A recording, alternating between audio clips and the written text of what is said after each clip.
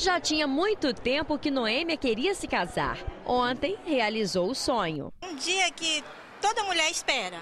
E eu esperei há 30 anos esse dia, né? Porque desde os 15 eu tô, quero casar, quero casar. E hoje, aos 45 anos, eu consegui realizar o meu sonho, né? Valeu a pena. Valeu. O casamento coletivo aconteceu na Praça do Papa no encerramento do terceiro encontro estadual de desenvolvimento comunitário do Ministério Público. 156 casais disseram sim numa cerimônia realizada pelo juiz de paz. Teve noiva que casou grávida.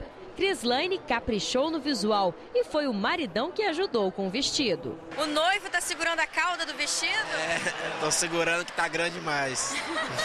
vale a pena num dia como hoje vir toda vestida? Vale a pena.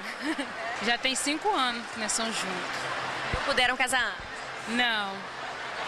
Como é que tá sendo para você hoje? É um dia muito alegre, né? Que é único, né? Um dia único, né? Pra vida da gente assim.